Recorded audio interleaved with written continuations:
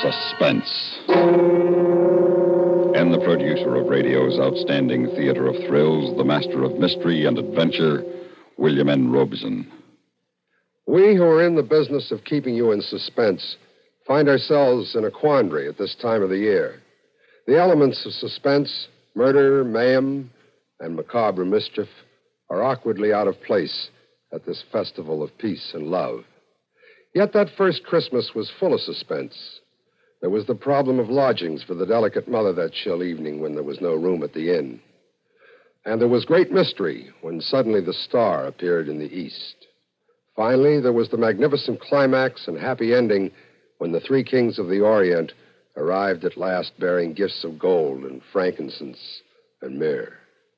We feel that we cannot improve upon this tale, so we will bring you another, along with our best wishes for a most Merry Christmas. Listen, listen then as Mr. Raymond Burr stars in Out for Christmas, which begins in just a moment. Here's actress Joan Bennett. It's terrible to try to act with a dreadful cold. To feel better quickly, I take four way cold tablets, the fast way to relieve nasty cold distress. Yes, tests of four leading cold tablets proved four way fastest acting of all.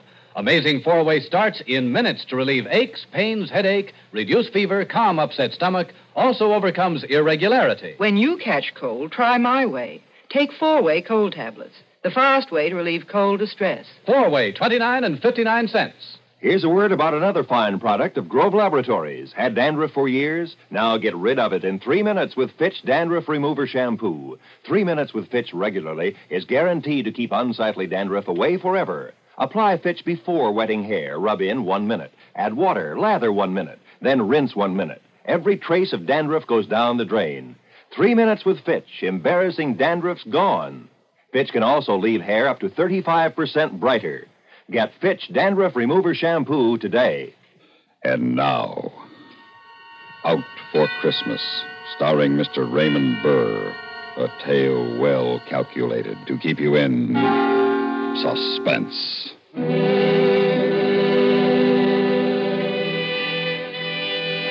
hadn't figured on being out for Christmas, but my prison record paid off.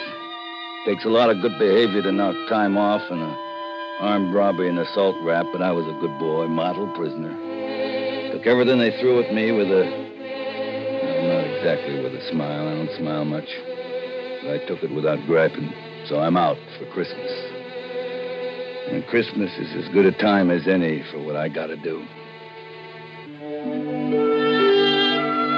The town looked cruddy. We got phony tin Christmas trees and the lampposts along the main drag and colored lights all over the joint and Christmas carols screeching at you from loudspeakers everywhere. Even the saloons got red and green streamers all over the place and the bar mirrors all frosted, like snow. A big bowl of slop called Tom and Jerry they're pushing. Merry Christmas. Yeah. Uh, what'll it be? A little Christmas cheer? A hot Tom and Jerry, maybe? Ain't you got any whiskey? Oh, sure. We got whiskey. Give me a straight shot. Okay. Can't you get anything on that jukebox but them Christmas carols? What's the matter? Don't you like carols? Oh, they stink. you won't think so after you get a couple of belts under your belt. Do you think so? Sure. It's Christmas, man. Yeah, so I heard. Uh, that tastes good. Real good. Say, you look sort of familiar. Uh, don't I know you from someplace? I was wondering how long it'd take. Yeah, the voice is familiar, and your eyes sort of. Joe, Joe Watson. Joe, I heard you was going to get out soon. Charlie Jones told me. But I didn't know you'd be out for Christmas. Yeah, they got big hearted. Say, you put on a little weight. Yeah, that's why I didn't recognize you. 30 pounds, prison chow. But you look real good, Joe. Real good. Yeah. Hey, where is Charlie? He been in tonight? Mm, not yet, but he'll be around probably. Gotta see him. You know where he's living at? Yeah, he's got a room over on 4th Street. Room? I figured he'd be living in a flop house. Oh, not Charlie. He's doing okay since he got out. Got a steady job. How about you, Joe? You got a job lined up? Yeah, I got a job lined up. A good job? It'll be good. As good as I can make it.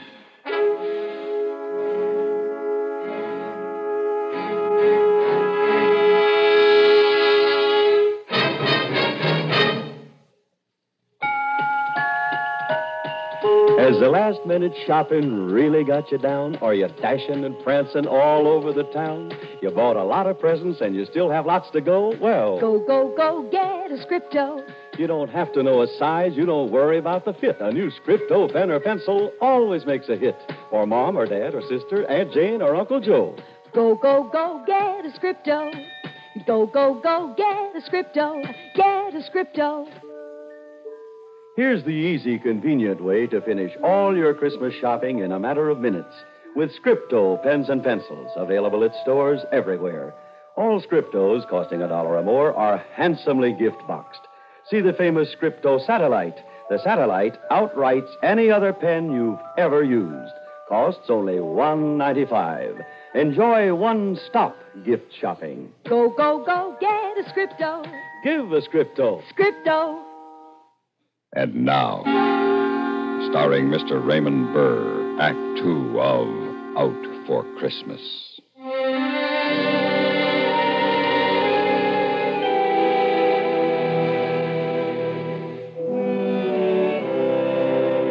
Even had this rooming house where Charlie was staying, loused up for Christmas. There was a moth-eating poinsettia wreath in the door and red and green lights in the landlady's window.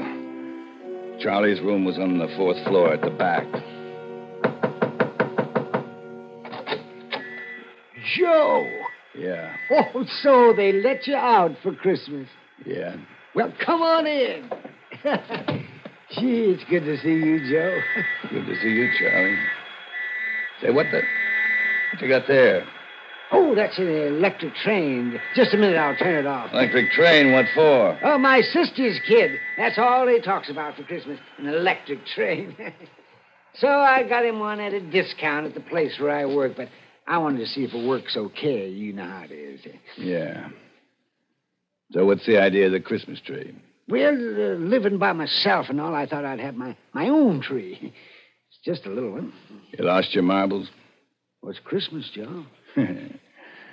Guys in cell block four ought to see you now playing with electric trains into your own Christmas tree. And I bet they'd like to be doing the same thing. Not me. Did you check up on Malloy like I asked you to? Yeah? Yes, he's still on the police force. Good. You got a gun? No, no, I, I don't have no use for guns anymore. Know where I can get one? Well, sure, I guess I could locate one. Well, I told you to. In my last letter, I told you. Get a gun for me, I said. Yes, I know, Joe, but look, pal, I thought that. Well, I hope maybe you'd change your mind. Charlie, from the day he testified against me, I swore I'd get him. His testimony did it, you know. That's what convicted me. He sent me up. He had to testify the way he did. He didn't have to be so convincing. But, Joe, what good'll it do? You'll only get the chair. Ah, I'm not afraid of the chair. I've seen enough of life. It stinks. I ain't in love with it. I'd just as soon leave it so long as I take that rat with me. But it ain't only him, Joe. What do you mean? He's married now. You kidding? What kind of a dizzy broad would want him? You ain't gonna like this, Joe. Ain't gonna like what? The dizzy broad that married him is Lucille. Lucille. My Lucille. That's right. I'm sorry, Joe. Hmm. Funny. It's real funny. She wrote me. She she couldn't wait for me no longer. You remember when I got the letter. I remember. But she didn't say who it was. She never answered my letters after that. Oh, that lousy double cross. Well, you went up for 10 to 20, Joe. Yeah. Yeah, I guess she never counted on me making it an eight and time off for good behavior. But eight years is a long time for a young girl to wait, Joe. Mike Malloy's a fine guy to throw me over for. Well, makes it dandy. Double dandy. It'll be a pleasure to kill them both. Oh, how can you talk that way, Joe? It's Christmas. Christmas is for people who don't know no better. Kids and idiots. Oh, Joe, listen to me now. Forget all about Malloy and Lucille. You got a chance to make a new life for yourself, like I'm doing.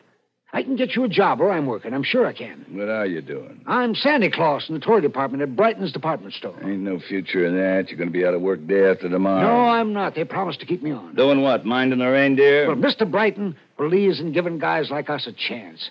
Now, that's why I'm sure that you can get a job there. You come down tomorrow and talk to him. I'll talk to him after Christmas. Hey, good. Oh, say. How about coming over to my sister's house for Christmas dinner day after tomorrow? Yeah. Yeah, I might even do that. Good. You see, Joe, there ain't no sense in carrying around hatred in your heart, especially at Christmas time. So let Malloy and Lucille have their Christmas in peace. Oh, they'll have their Christmas all right. Their last Christmas.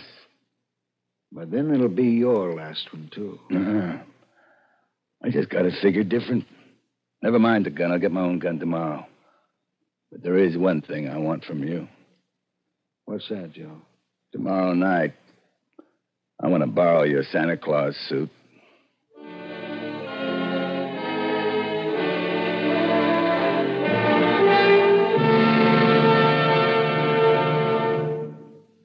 Holiday hustle make you queasy, stomach nervous and uneasy? Then Doodle you know about the little white tablets in the little green pocket roll? Just a waiting for the moment when you need 'em to bring your acid indigestion under control.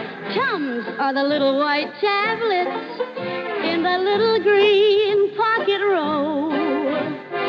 Tums for the tummy. T U M S. Bring relief quicker than you'd ever any kind of acid distress. Keep 'em handy in the pocket roll. Keep your tummy under Tums control. Yes, during the busy, bustling season, get quick relief from annoying acid indigestion. Always carry Tums, 10 cents. Three roll pack, a quarter. Or get the new six roll pack with free metal carrier, 49 cents.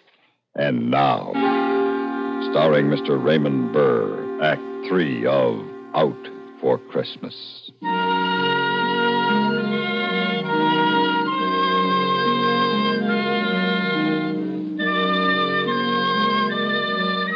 Next day, I did my Christmas shopping for a gun.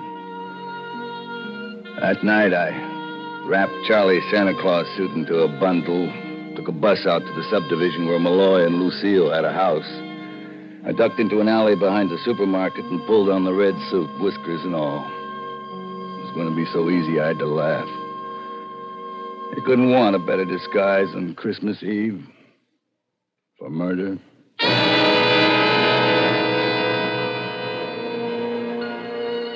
I didn't have any trouble finding the house, little box of a house like all the others in the street and decorated with colored lights like all the others. Nobody saw me, even if they had. Who has a better right than Santa Claus to be on the streets Christmas Eve? The gun felt cold in my pocket as I closed my fist around it, pushed the bell. Even it was wired for Christmas. Yes? Merry Christmas.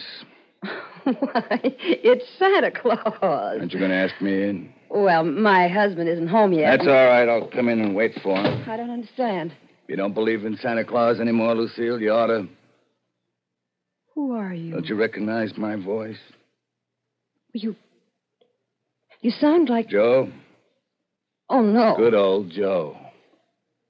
He was going to wait for me, no matter how long it took. Joe, I thought you were. In the cooler for keeps? Uh uh I told you I'd come back for you. Here I am. Well, you're too late, Joe. Yeah, so I hear. How come you didn't wait, Lucille? I. I fell in love. With the guy who sent me to prison? With a no good cop? He didn't send you to prison, Joe. You were guilty. I'd have beat the rap if he hadn't testified the way he, he did. He had to testify that way. He was only telling the truth. Yeah, so you could get me out of the way and steal my girl. Joe, you've got things all twisted. It all happened afterwards. I only met him at your trial. We fell in love afterwards. When I couldn't protect myself. Oh, Joe, I'm sorry. It just happened. You're telling me. Where's the fuzz? Who? The copper, your old man. He's still on duty. Working overtime to put the arm on some stiff on Christmas Eve. When will he be home? I, I expect him any time now. Good. I'm going to be glad to see him. Why, when you hate him so? You see, I I promised him something. Didn't he ever tell you? No? I promised to kill him when I got out. Joe. Tonight's the night, see? Well, you mean it? You, you've got a gun. Sure, I got a gun. And I'm going to use it. On both of you. Both of us? You both double crossed me. I could kill you first, but I think I'll wait till your old man comes home. Ought to be interesting to see how he acts. I wouldn't be the least bit surprised if he tried to make a deal with me. A deal? Yeah, like shoot my wife, but let me go free. What a terrible thing to say. You'll see what kind of a creep you married. Joe, do it then. But do it because I ask you. Kill me and let him go. Ah. I come to get you both. And I'm going to get you both. Together. How about some music while we're waiting? Turn on the radio. I... Go on, turn it on. He. He made you happy, Lucy? Yeah, Joe. Very. You made him happy? I hope so. That's nice. Because tonight you're both going to make me happy. By becoming very dead. It's too loud. What's that? Oh, little Lucy, the radio woke her. You got kids? Yeah. Where you going? I had to look in on her and quiet her. Don't try nothing funny. I'll be right behind you. Oh, there now, honey. There, there. It's all right. Mommy just turned the radio on too loud. I'm scared, Mommy. Ah. Mommy, look behind you. It's Santa Claus. Yes, dear, Santa Claus. Oh, Mikey. Mikey, wake up.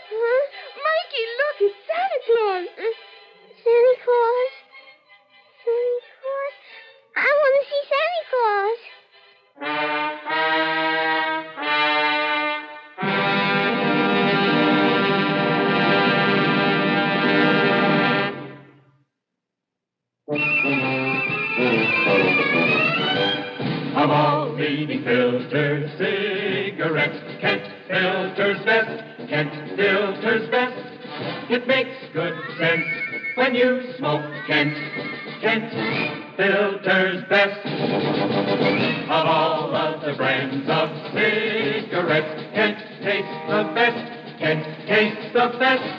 A richer taste than all the rest. Kent filters best.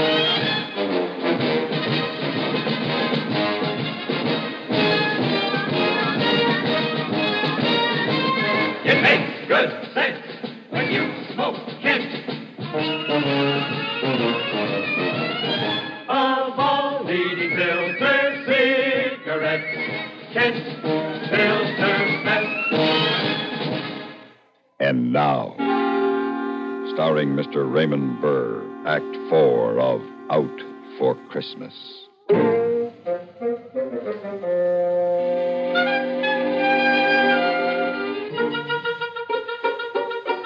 Just had time to jam the gun back into my pocket before those two kids were wide awake and all over me, grabbing at my red suit, pulling at my phony whiskers, pushing me into a chair. Did you bring me a present, Santa Claus? Did you? Where are your reindeer, Santa? Sit down, Mikey. I want to sit on his lap. Lucy, you'll get rid of these chicks.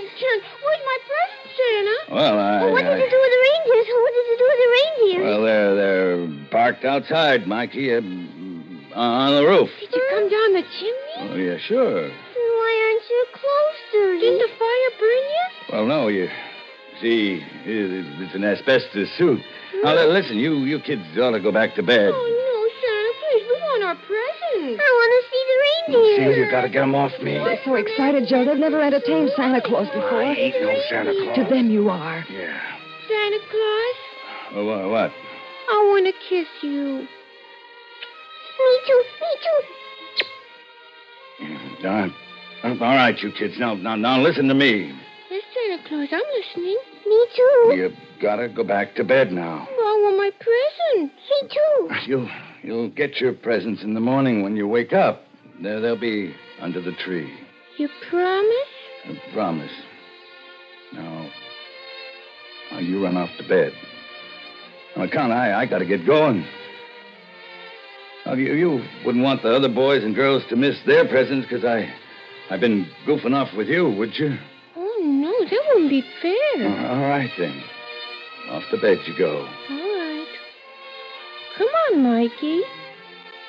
Merry Christmas, Santa Claus. Me too. Yeah. Merry Christmas, kids.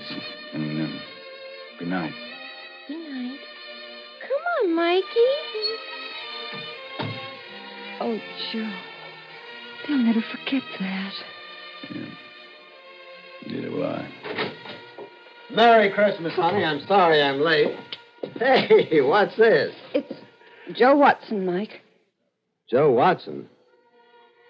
What the devil are you doing here? He came to kill us. What? I Take it easy, Mike. Um, Here's my gun. You. You changed your mind? Uh-uh. Your kids changed my mind. They thought he was really Santa Claus, darling. They, they were so excited. Well, Mike, you you can send me up again. Better to go back for parole violation, I guess, and for murder. Well, uh, wait a minute. Uh, we got to have a complaining witness. You want to make a complaint, Lucille? No, Mike. I want to thank Joe for giving the kids the best Christmas of their lives. Well, I haven't any complaint then. Merry Christmas, Joe. I still say Christmas is for people who don't know no better. Like kids and idiots. Yeah. Merry Christmas.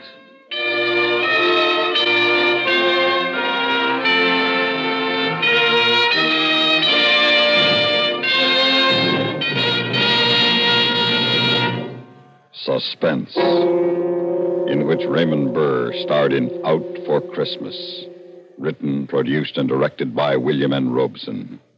In just a moment, the names of the supporting players and a word about next week's story of suspense. Christmas Eve on CBS Radio, Bing Crosby invites you to celebrate Christmas with the world on our fourth annual Christmas Sing with Bing.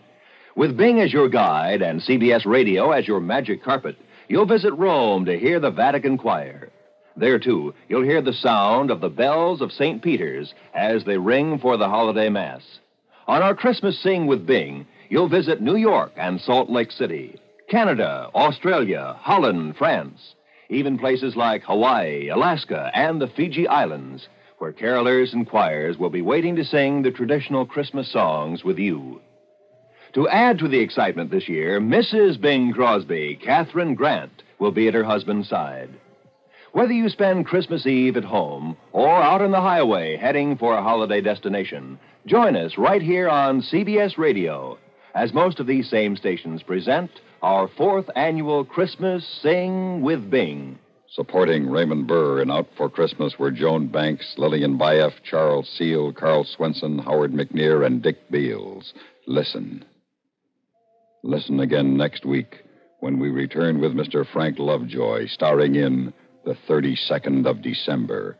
Another tale well calculated to keep you in suspense. This is the CBS Radio Network.